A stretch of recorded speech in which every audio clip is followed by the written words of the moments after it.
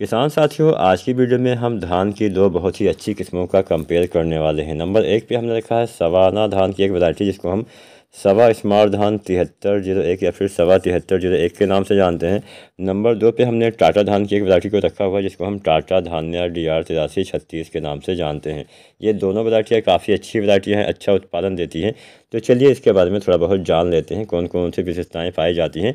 बाद में हम आपको बताएँगे कौन कौन सा अंतर इन दोनों किस्मों में पाया जाता है, कौन सी किस्म आपके लिए बेहतर साबित हो सकती है। तो चलिए सबसे पहले हम सवाना धान की वैरायटी, सवा तिहत्तर ज़ीरो एक के बारे में जानते हैं। किसान साथियों कम अवधि वाली ये वैरायटी है 115 से 120 दिन का समय लेती है। इतने दिन में ये जो किस्म है वो पक के तैयार हो जाती है, गिरने के प्रति सहनशीलता भी इसमें पाई जाती है। इसमें BLB के प्रति भी सहनशीलता पाई जाती है, यानी इसमें बैक्टीरियल लीफ ब्लाइट नहीं लगेगा, जो धान का झुलसा बीमारी होता है, वो इसमें नहीं लगने वाला है। इसके साथ साथ हर परिस्थिति में काफ़ी अच्छा उत्पादन आपको देने वाली है। बेहतर इसके वजनदार दाने होते हैं। मध्यम ऊंचाई का इसका पौधा होता है। क्योंकि ये कम दिन में तैयार हो जाती है तो आप आलू, मटर, सब्ज़ियाँ, गेहूँ आसानी से आप समय पे लगा पाएँगे। जो हमारे किसान साथी सब्जियों की खेती करते हैं वह एक किस्म लगा सकते हैं। जल्दी तैयार होने से इसमें खाद, खादों की मात्रा भी कम लगती है। कम खाद, कम दवाएँ, कम सिंचाई की आवश्यकता आपको किसान साथियों पड़ने वाली है। इसमें एक विशेषता और भी पाई जाती है कि इसकी फराह मुक्त बालियाँ होती हैं।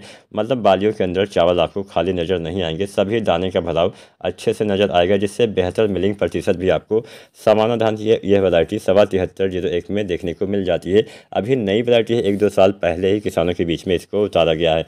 तो आप सवा स्मार्ट धान तिहत्तर जो तो एक भी लगा सकते हैं, आपको ये भी निराश नहीं करने वाली है। अब हम जानते हैं किसान साथियों, नंबर दो वाली वैरायटी जो टाटा की वैरायटी है, धान्या डी आर छत्तीस के नाम से हम इसको जानते हैं। तो जो धान की वैरायटी है, धान्या डी आर छत्तीस, इसको आप साल में दो बार लगा सकते हैं। हमारे बहुत सी जगह पर हम धान की खेती साल में दो बार करते हैं। तो जो हमारे किसान भाई रबी के मौसम में भी धान की खेती करते हैं तो आप इसको रबी में भी लगा सकते हैं। और खरीफ के मौसम में भी इसको आप लगा सकते हैं। रबी के मौसम में 135 से 140 दिन में तैयार हो जाएगी।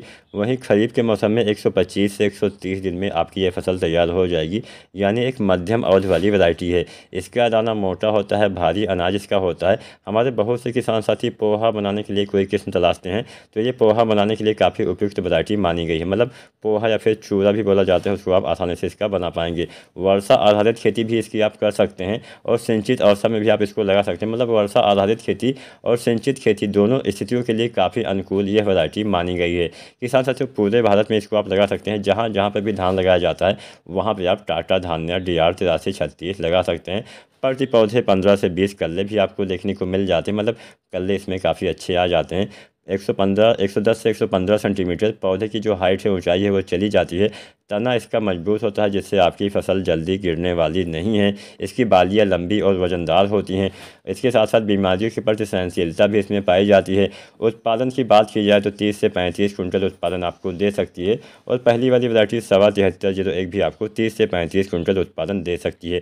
तो हम, अब हम दोनों किस्मों की तुलना कर लेते हैं। कौन सी किस्म आपके लिए बेहतर साबित हो सकती है? सबसे पहले हम सबसे बड़ा अंतर जान लेते हैं। तो सबसे बड़ा अंतर आपको जो समय है उसमें देखने को मिलेगा। जो सवा स्मार्ट धान तिहत्तर ज़ीरो एक है, थोड़ा जल्दी तैयार हो जाती है। एक सौ पंद्रह से एक सौ बीस दिन में तैयार होती है। वहीं जो ये टाटा की धान्या डी आर तिरासी छत्तीस है, एक सौ पच्चीस से एक सौ चालीस दिन में तैयार होती है। मतलब खरीफ के मौसम में एक सौ पच्चीस, एक सौ तीस दिन में और रबी के मौसम में एक सौ पैंतीस से एक सौ चालीस दिन में ये तैयार होती है। तो यहाँ पे दस से बीस दिन का समय ज़्यादा लेने वाली है। इसके साथ साथ किसान साथियों, दूसरी विशेषता यह पाई जाती है कि टाटा की धान्या डी आर तिरासी छत्तीस आपको वर्षा आधारित खेती में भी अच्छा उत्पादन दे पाएगी। मतलब जो, जहाँ पे हम बरसाती खेती करते हैं, बारिश के पानी के सहारे खेती करते हैं, वहाँ पे भी आपको टाटा की धान्या डी आर तिरासी छत्तीस अच्छा उत्पादन देने वाली है। पोहा बनाने के लिए काफ़ी उपयुक्त यह वैरायटी है। बाकी कोई विशेष अंतर आपको इन दोनों किस्मों में नज़र नहीं आएगा। उत्पादन वही तीस से पैंतीस कुंटल दोनों किस्में आपको देने वाली हैं। बस विशेष दो ही अंतर है। एक तो इसको आप मतलब एक तो ये जल्दी तैयार हो जाती है तिहत्तर ज़ीरो एक और टाटा की थोड़ा सा देर में तैयार होती है। दूसरा, टाटा में एक विशेषता ये पाई जाती है कि ये वर्षा आधारित खेती में भी आप इसको लगा सकते हैं, वहाँ पे अच्छा उत्पादन दे पाएगी। बाकी सारी चीज़ें लगभग सेम टू सेम आपको नज़र आएँगी। हाँ जो कि इसमें कम जल्दी तैयार होती हैं, उसमें एक दो फ़ायदा भी मिलता है। जैसे सवा स्मार्ट धान तिहत्तर एक में आपको कम खाद की आवश्यकता पड़ने वाली है।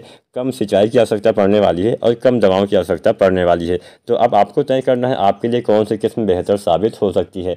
उम्मीद करते हैं आज की वीडियो, आज की जानकारी आपको पसंद आई होगी। वीडियो पसंद आई है तो लाइक करें और चैनल पर नए हैं तो सब्सक्राइब करें। अगर आप चाहते हैं कि हम आपकी किसी पसंदीदा किस्म के ऊपर वीडियो बनाएँ तो उस किस्म का नाम भी नीचे कमेंट करना मत भूलेगा वीडियो देखने के लिए आपका बहुत बहुत धन्यवाद।